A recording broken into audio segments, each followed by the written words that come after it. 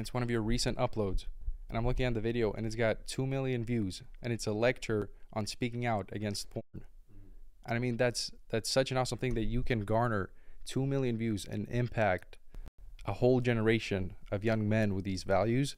It's, I mean, it's unheard of. Mm. Like the kind of views you're pulling. No, I, I appreciate that. I listen. I want to make something very clear. I am no saint.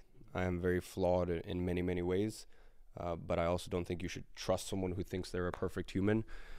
So bear in mind, I am 23 years old. I grew up very, very, very quickly.